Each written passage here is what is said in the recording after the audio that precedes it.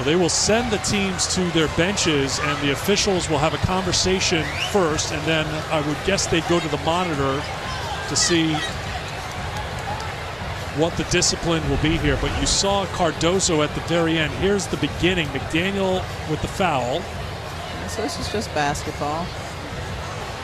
And Meyers and McDaniel. And McDaniel doing a lot of talking.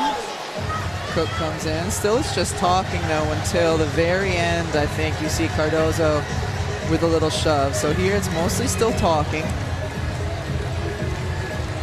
It's a very strong talking. Yeah, not pleasantries. and then the shove there. So the officials are at the monitor right now. Talk, talk, and then Cook comes in. Cardoso was trying to pull her teammate away, and then Cardoso Yeah. with the shove on Cook. That's the only piece I think is like a little extra.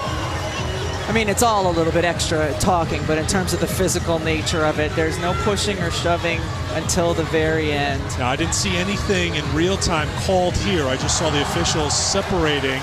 Yeah, I think I thought the point was end, for yeah. Cardoso, but I could be mistaken. But I thought that he was saying. Michael McConnell. you can issue a number of technical fouls here. You could see McDaniel and Fletcher getting the technicals for the heated argument. Then right Yeah. here, the point. Yeah, and then the go. Cardoso. So all three officials, Alicia Grintner, McConnell, Cameron Inoue, are at the monitor right now. And we'll see what the penalty is. How about the delay? Because the official standing right there still has to put the whistle in his mouth.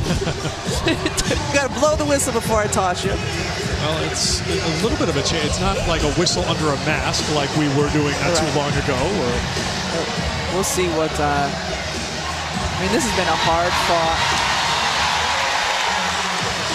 a hard fought game. in the end, it wasn't a lot. It was a shove by Cardoso to push the freshman Cook away. It wasn't anything with a closed fist. It was just you know, get away from my player, stop this, and that's going to be enough to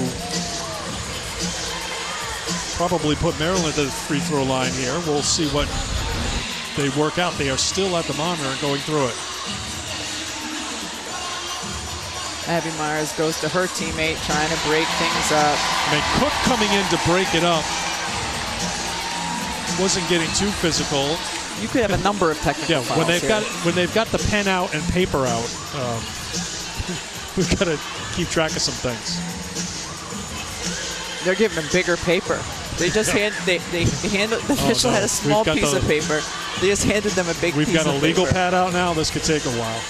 Are we allowed to make light of this or not? Well, too late. I think I did. I, I think what may be happening here is there's being a transcription because we're not going to hear from the officials with this setup.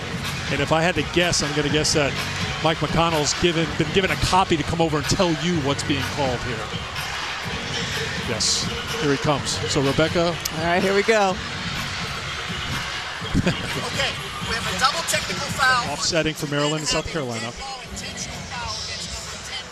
Dead ball intentional foul on Cardoso for South Carolina. Maryland with two free throw attempts. So the offset for the argument and then the extra for Cardoso. And again, it was an intentional foul, not a disqualifying foul, which With the old flagrant one.